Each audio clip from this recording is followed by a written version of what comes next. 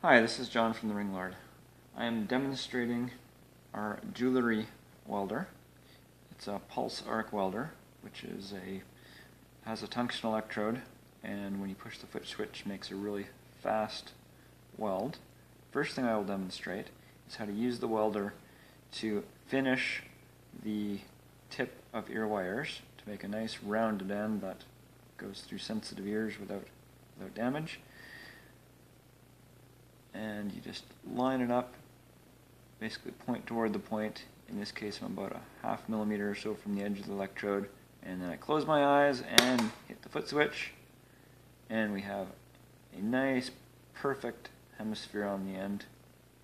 And we'll, we'll have uh, close-up pictures on the, on the website for you to look at. Now, let's look at the welder a little bit here. We have an on-off switch, fairly self-explanatory coarse tune and a micro tune. And these are 10 turn potentiometers, and they show the show the number there. So go five, six. Of course, the higher the number, the more the weld power. And as a general rule, I'm just starting at five five, trying a weld, and then just adjusting as I as I see fit for that particular wire size.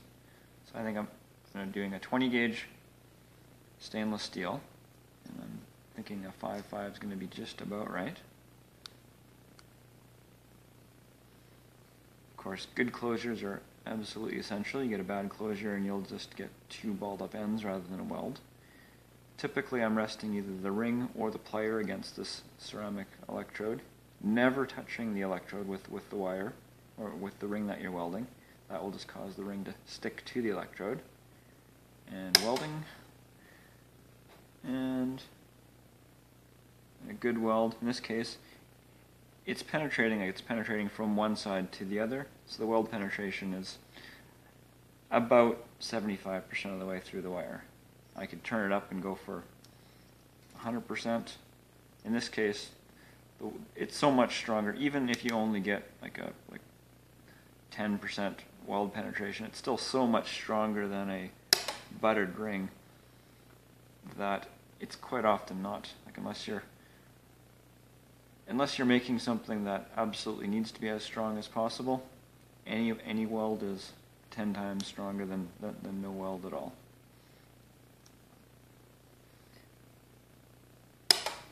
And, and just as a quick test to see, like typically, here, if I just show you a, a butted ring as a, as a comparison, if I had butted chain, and I just sort of grab the chain and pull. So let's grab it a little bit more firmly and pull.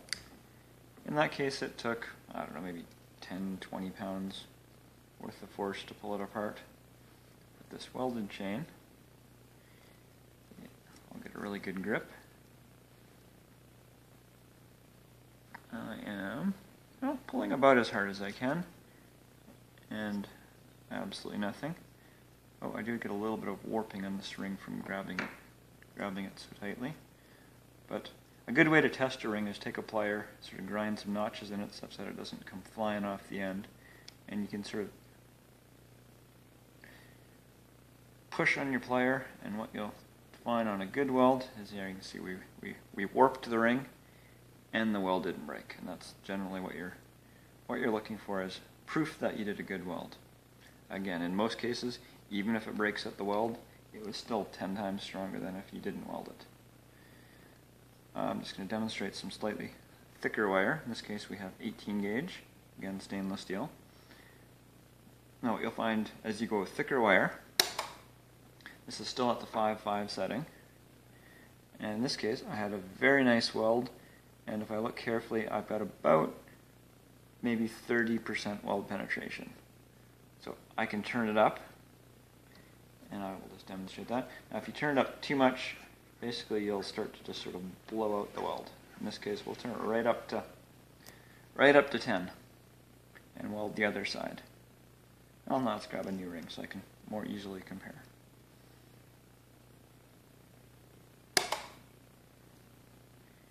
Uh, surprisingly little difference.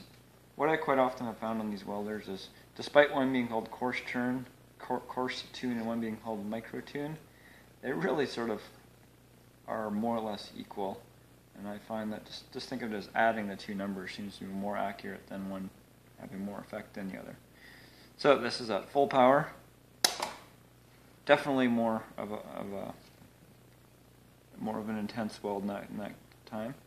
I would say that on an 18 gauge ring at full power, we're getting about 50% weld penetration. So that means that if I take this ring and weld it once on one side, flip it around, weld it again on the other side, we now have pretty much fully welded ring, which should be in incredibly strong. When you start going above 18 gauge to get the strength, it will take more and more welds. For example, with this 16 gauge, I weld it once. In this case, I'm welding, I'm trying to weld at the top. We've got eh, maybe 20% or so penetration. Now this is this is fine. This is many times stronger than, than a butted ring. You could easily stop here. You want to keep going. Basically, you can weld it on the inside just by, by putting your ring like this. You can twist and you can weld it on this side. And just a spot here. So basically, you can go all the way around doing as many welds as it takes. And then you will get as strong of a ring as you will as you will ever need. Uh, about the, the maximum that you can do with this welder is about in, in one weld is about 20 gauge. On the other hand, on the low end, you can go down to 30 or 40 gauge wire. You start. I'll just do a real quick demonstration on 24 gauge. We can turn her down.